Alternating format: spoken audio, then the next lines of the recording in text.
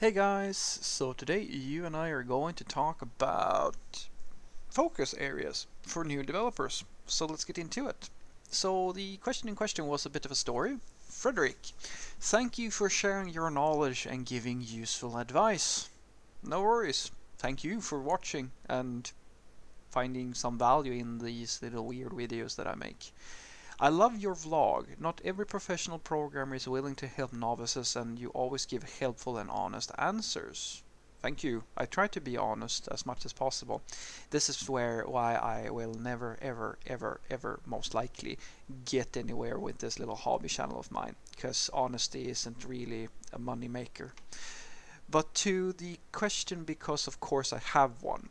How should I, an enthusiastic and motivated novice, distribute my energy and time in the best way career-wise, thinking long-term?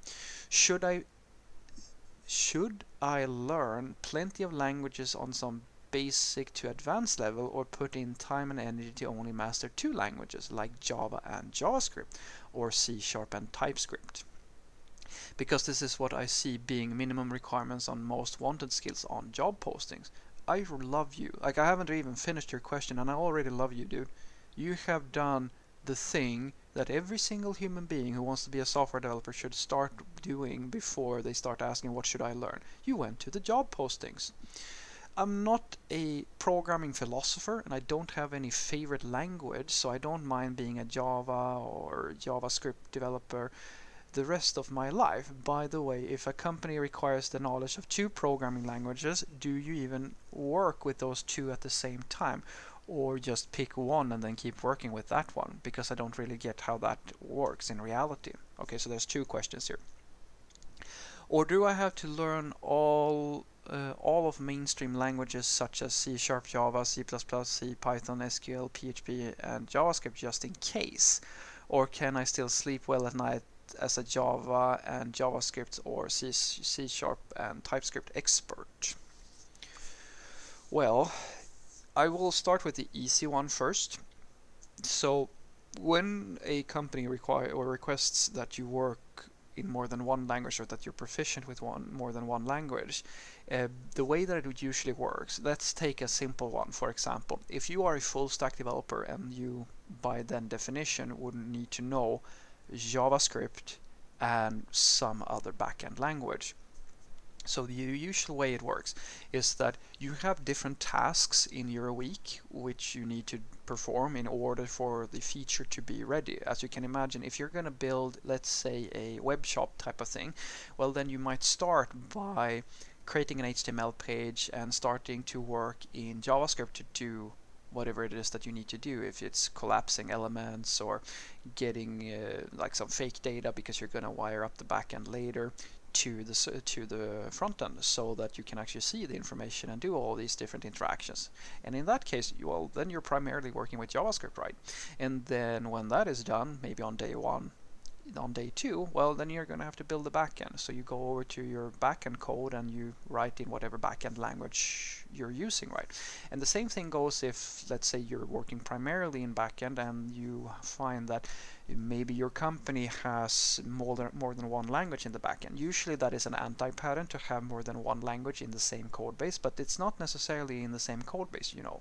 It can be many different systems. You could have a company that has acquired another company and so there's one set of services and one code base that is written in one specific language and then there's another part of the system that is also important that is written in another type of language. And so in order for you to be able to work on both of those systems, you're going to have to figure out how to write in those languages.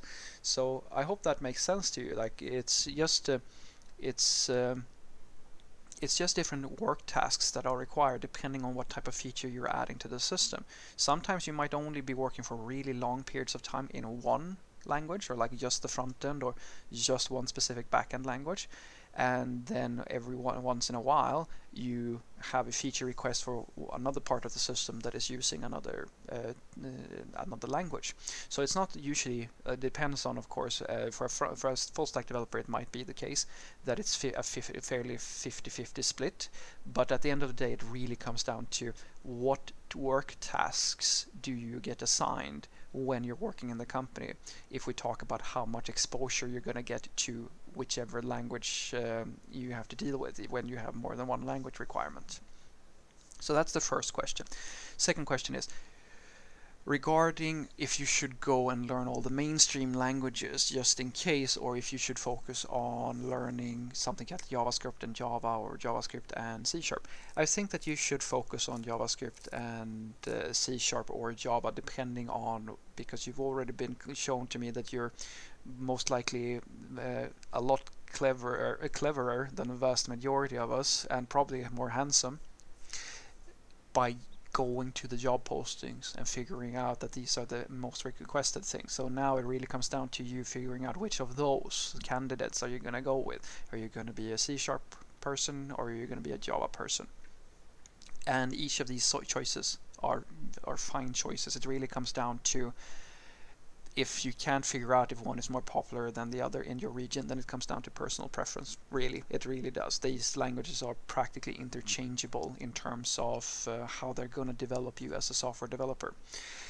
And the reason why I say this is because the thing is, you have so many years of programming ahead of you if you want to stay in this industry. And it is a lot better for you in the beginning to be a little bit more limited in how many jobs you can apply for in terms of like width.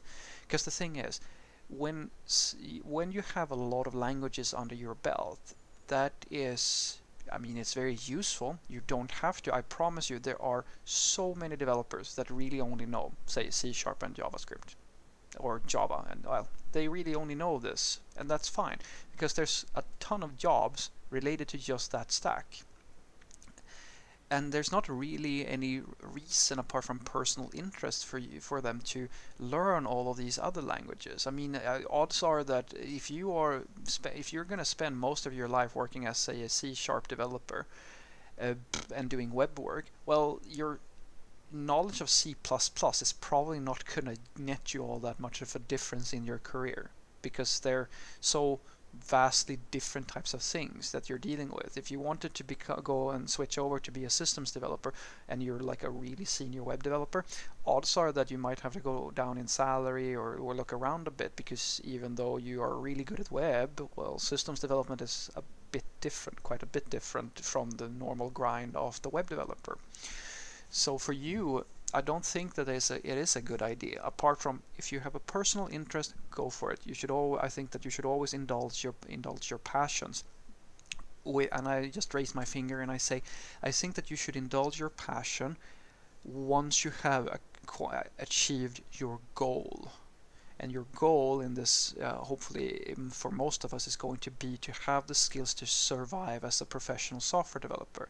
Once you have those core skills it's like taking like it's like the boot camp of military training. You need to get the basics first so that you can perform in a live situation. And when you have that then you can branch out and become all of these other things. It's like basic education same thing there. You go through uh, all of these years and years and years of education to get to a point where you can decide what career do I actually want. It's the same thing here, it's just the next step of the whole thing.